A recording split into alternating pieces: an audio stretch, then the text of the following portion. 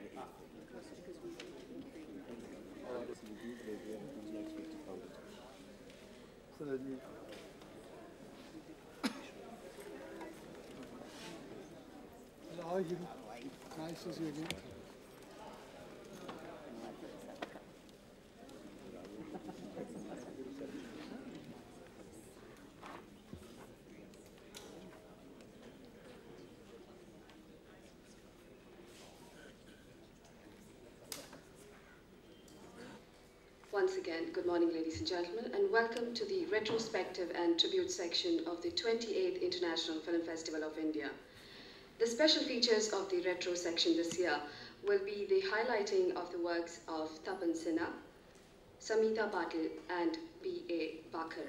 things like homage to a particular uh, film personality, but this is the first time that a retrospective of three eminent film personalities is being organized.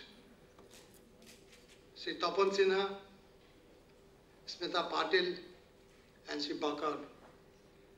I I, worked together while I was in Film Institute.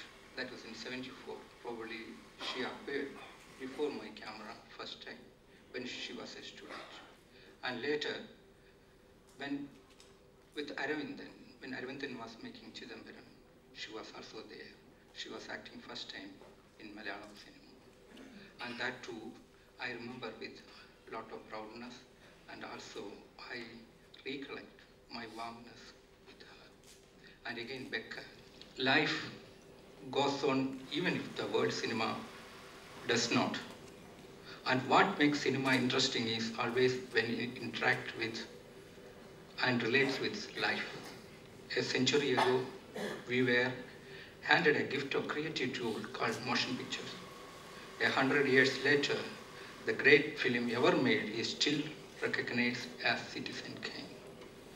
of this Smita Patil and Backer are much well known beyond the frontiers of our state.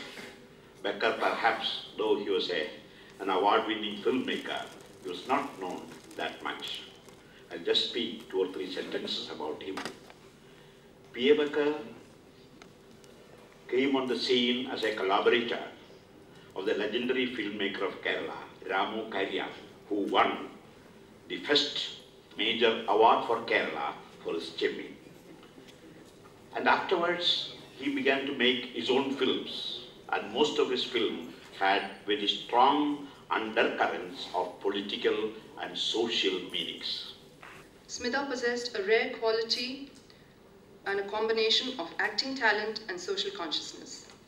She believed that art, particularly cinema, can become an important instrument for raising awareness and effecting change and progress.